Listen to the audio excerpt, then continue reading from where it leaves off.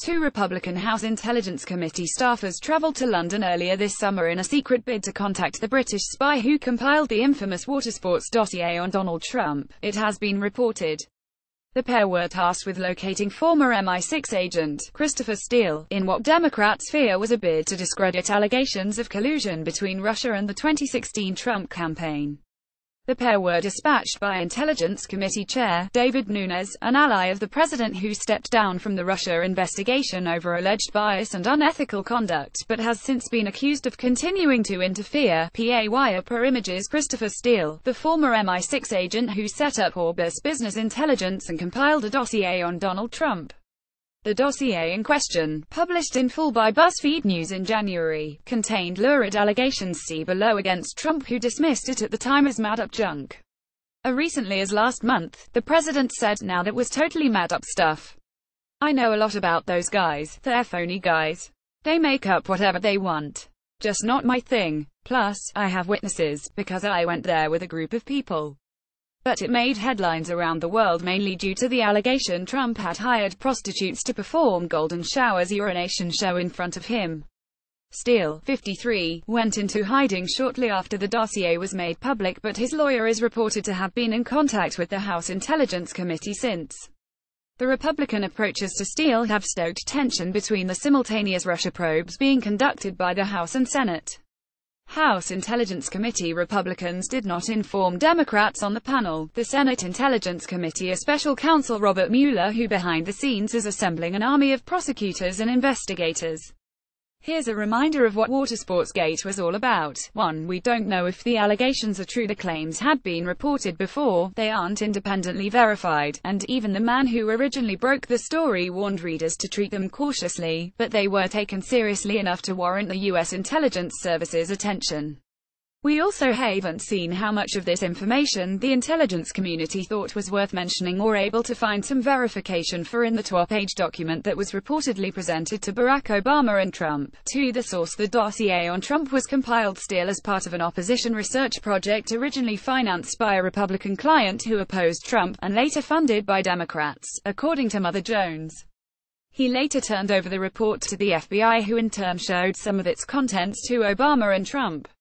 Interesting sting in the tail of the Alfa Group, Fridman Dimension in the Trump-Russia report pic.twitter.com Adams, Alexander Clarkson at AF Clarkson January 10, 2017 The memos discuss videos covertly recorded by the FSB Russian security services in a Moscow hotel room in 2013 and cite source as saying Trump's conduct included hiring prostitutes to perform a golden shower's urination show in front of him. 3. Trump was told about the allegations a week before they went public. A summary of the allegations was separate from a classified assessment of Russia's suspected attempts to meddle in the U.S. presidential election.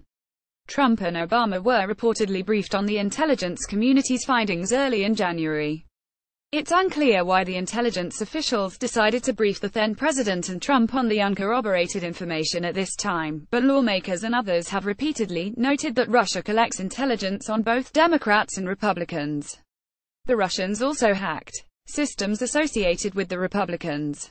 They just chose not to release that material yet. Senator Mark Warner of Virginia, the ranking Democrat on the Senate Intelligence Committee, said at the time, There's nothing that prevents them from doing so at a time of their choosing in the future. For the reports had been circulating for months we chased Ritz-Carlton story Incept but we were skeptical about the golden showers bit, which seemed too icky for a germaphobe like Trump. Kenneth P. Vogel at Ken Vogel January 10, 2017 In October, former Senate Minority Leader Harry Reid wrote to the FBI asking the Bureau to publicly disclose what it knew about the Trump campaign's ties to Russia. Reid was aware of the dossier before he wrote the letter, according to a person knowledgeable about the subject who spoke on condition of anonymity.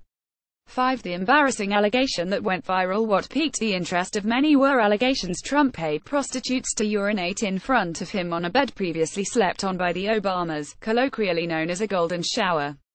This is what spawned the hashtag Watersportsgate, leading to a smorgasbord of urinary-related puns. Axe now tip for Trump's inauguration. Wet Wet Wet, Wee Papa Girl Rappers, Waterboys, Yellow, Slash from Guns N' Roses. Watersportsgate, Michael Hogan at Michael Hogan January 11, 2017 We all know Donald Trump has thin skin but who knew it was so absorbent? Watersportsgate, John Wilson at Walterong at January 11, 2017 Trump should step down at the earliest public convenience.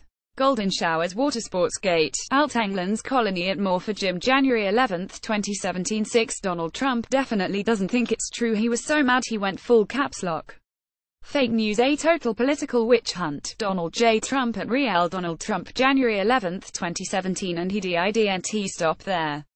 Russia just said the unverified report paid for by political opponents is a complete and total fabrication, utter nonsense. Very unfair. Donald J. Trump at Real Donald Trump January 11, 2017 Russia has never tried to use leverage over me. I have nothing to do with Russia no deals, no loans, no nothing. Donald J. Trump at Real Donald Trump January 11, 2017 I win an election easily, a great movement is verified, and crooked opponents try to belittle our victory with fake news. A sorry state, Donald J. Trump at Real Donald Trump January 11, 2017 Intelligence agencies should never have allowed this fake news to leak into the public.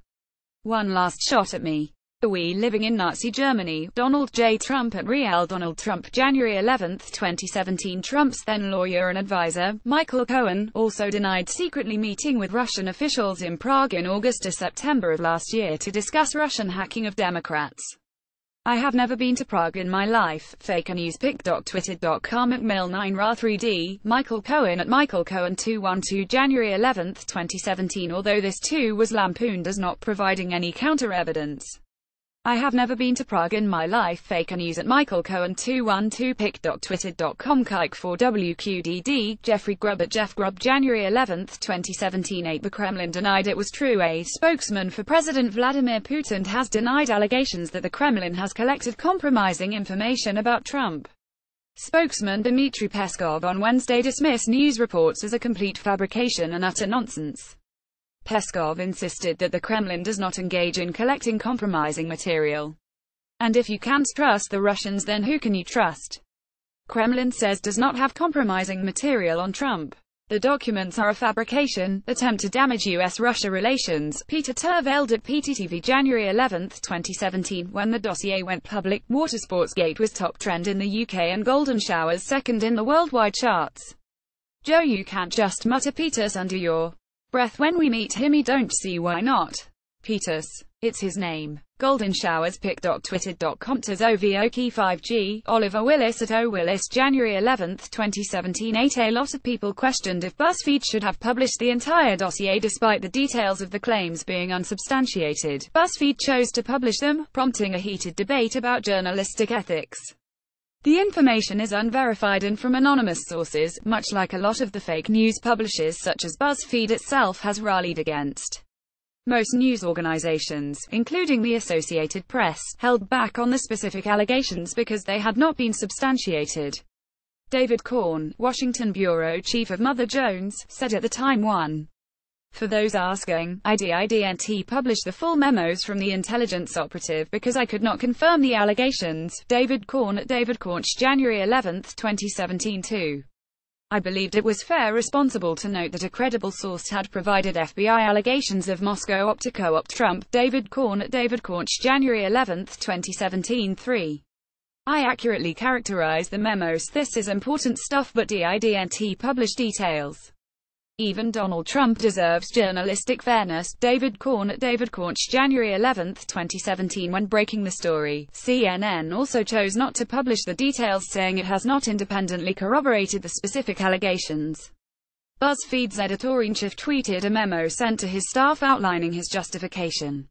Here's the note I sent to at BuzzFeed News staff this evening. pic.twitter.com Asalos, Ben Smith at BuzzFeed. Ben January 11, 2017 As you have probably seen, this evening we published a secret dossier making explosive and unverified allegations about Donald Trump and Russia. I wanted to briefly explain to you how we made the decision to publish it. We published the dossier, which Ken Bensinger obtained through his characteristically ferocious reporting so that, as we wrote, Americans can make up their own minds about allegations about the president-elect that have circulated at the highest levels of the U.S. government. Our presumption is to be transparent in our journalism and to share what we have with our readers, Mr. Smith wrote. We have always erred on the side of publishing. In this case, the document was in wide circulation at the highest levels of American government and media. Publishing this document was not an easy or simple call, and people of goodwill may disagree with our choice, Mr. Smith added. But publishing this dossier reflects how we see the job of reporters in 2017. 9. It was comedy fodder gold.